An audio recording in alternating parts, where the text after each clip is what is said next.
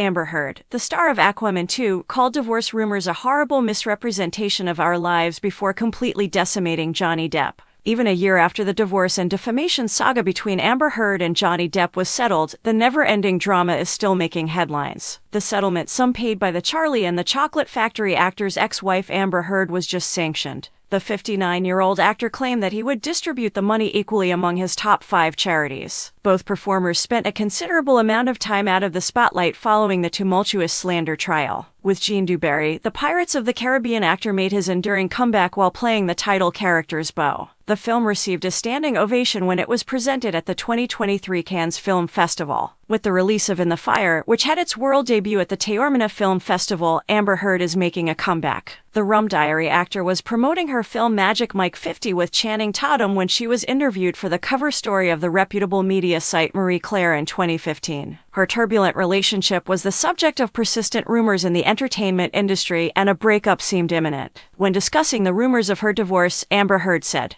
I make an effort not to retaliate in response to the terrible portrayal of our lives, but it's odd and difficult. Being a stepmother to Depp's daughters, Lily Rose, 16, and Jack, 13, she adds, is an honor and the greatest, most surprising gift I have ever received in my life, and she would love to have children. I detect new flavors that I wasn't aware of. New Shades Amber Heard had a connection with photographer Tasya van Ree before she married Johnny Depp. In 2010, the actor publicly revealed that he was bisexual. She has consistently advocated for homosexual rights and openly supported the community. Even so, she said,